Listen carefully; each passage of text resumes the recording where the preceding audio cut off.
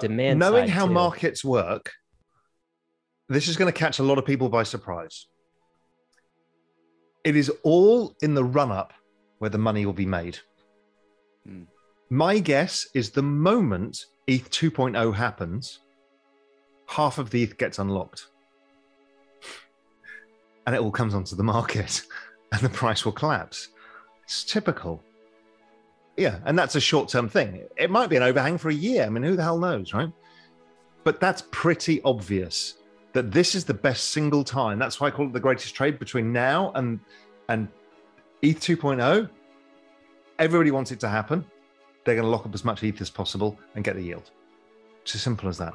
But when it comes out, chance ETH collapses. If you remember when Coinbase went public, everyone's like, this is so good for the space. Everyone's going to know about it. What did it do? Marked the exact high in Bitcoin. Mm-hmm. And I, I've mentioned that on Twitter beforehand. I'm like, this is what it's going to do.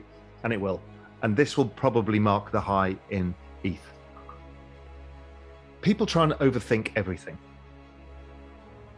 You know, ETH currently is a platform. You know, that, that that's how I think about it. You know, it's a platform from which to utilize their blockchain to transfer value, to store value, and to create applications on top. So, you know, is elements of it money, as we talked about? Yes. Are elements of store store of value? Yes. Are elements pure technology? Yes. I mean, it's everything. So, you know, it kind of is still the vision that Vitalik had of the kind of internet computer. I mean, it is that, but that sounds a bit restrictive. It's kind of the I call it the the internet of value, and you could call it the platform of value. And it doesn't. It's not exclusive because others can do similar things, but nothing has the scale, the scope that that Ethereum currently has. Possible now to keep up. So you have to specialize. And you know, I decided that I'm not interested in DeFi really because I came from the financial system and I don't care about yield. It's, it's kind of boring to me. DeFi is very cool, right? I mean, I love it, love the whole concept. But for me, I'm a financial markets guy. It's less exciting than complete disruption of business models that NFTs and social tokens are, or even, you know, ETH the asset is. So I just kind of drifted away from that. You know, I still own a bunch of DeFi tokens, but I don't get involved in it.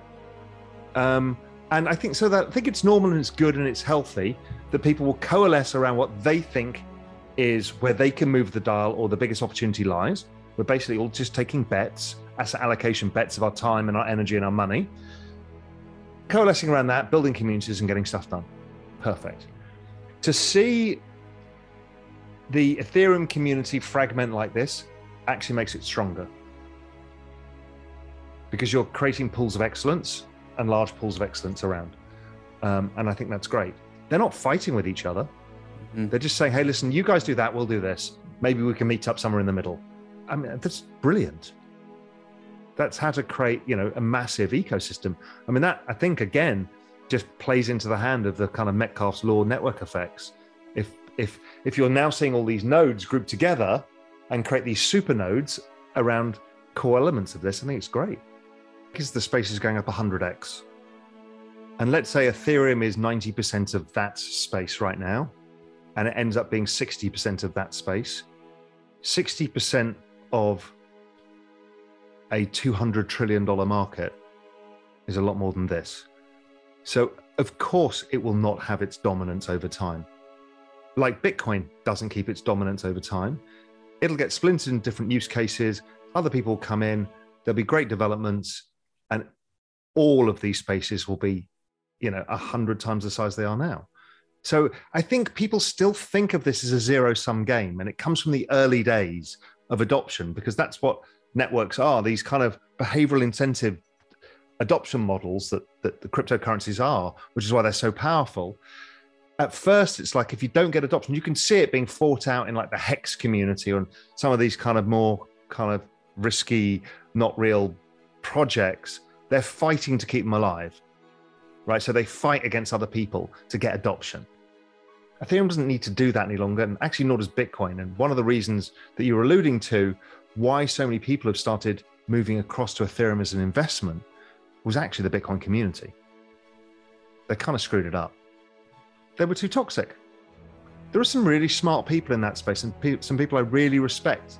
Some people who say, listen, my view is I think over time, the monetary element is what I'm interested in. And I think Bitcoin best reflects that. And I think there's an opportunity for it to be a larger part of the global financial system. So I'm going to focus on that. I totally get it. Is there a probability that that Bitcoin is money in the end? There is a probability. So I get that path, and that's their macro bet. But there's another group that was like, "How dare you look at anything else? It's a shitcoin. It's a scam. It's we hate you." All of this stuff, right? Which is the same stuff we were just talking about with these others. Is they took they spent too long on a fight that was the past, and they should have said, "Fine, you guys do that. We're doing this. We'll probably develop some smart contracts in due course. We got the lightning layer. This is all great. Look at the space. It's all going up 100x. We're all going to get rich. And we can change the world while we're doing it and probably solve a lot of inequality. But they did the opposite. And that was, that I think was a huge tactical error because people in the institutional space don't like to see that. And whether people like it or not, institutional adoption is part of the story. Yeah, there's a few people who throw out a few comments on Twitter, you know, some sort of ETH maximalist view, uh, you know, and they don't mind baiting a few people with laser eyes and stuff like that. So you can see that. But generally speaking, I found that people in the Ethereum ecosystem are too busy building businesses to fight with each other or to fight with anybody else. You don't even see kind of ETH versus Solana. So, oh, that's an interesting project over there they seem to be growing quite fast. I better get on with what I'm doing here. it's a very, very, very, very different mentality. And it's because my guess is the Ethereum ecosystem is not a finished thing. Well, Bitcoin is finished, really. And that for it also becomes a bit boring. And I know this is terrible to say, but I understand the boomer coin thing because it's a bit like gold, right? And Bitcoin's perfect. It's Bitcoin. I mean, it's absolutely phenomenal. Now, so it's a bit boring to talk about. So then there's sovereign adoption. That is, that is interesting. Um, you know, there's the institutional adoption. I think is very interesting. Uh, the Lightning layer is a payments layer. That's interesting. You know, there is some interesting stuff. It's just not as intuitively interesting as the amount of innovation that's coming out of this space. Do you think Ether will uh, flip in Bitcoin at some point in time? I think there's a serious probability that they will, because a platform versus an asset tend, you know, it tends just by the nature of what the Ethereum ecosystem is.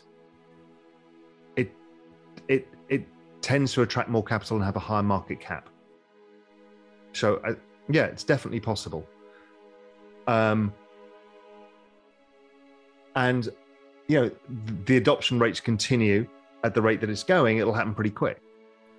So people should own a bit of Bitcoin. There is an argument that you should never own Bitcoin. Because if you play it through and look at Bitcoin dominance or Bitcoin versus everything else, Bitcoin outperforms in bear markets and Ethereum, and then going out the risk curve, outperforms even more. So, yeah, we're seeing the risk curve here now, which is some of the other, the newer, faster adoptions, let's say Solana, stuff like that, growing faster than Ethereum um, because they're at lower point in the cycle. You know, that less number of users, price goes up exponentially faster, NFT stuff like that. When you're going further out the risk curve. So then, let's say, so that's the bull market. You shouldn't own Bitcoin because it's going to underperform. And in a bear market, you should own stable coins. So in which case, why should you ever own Bitcoin?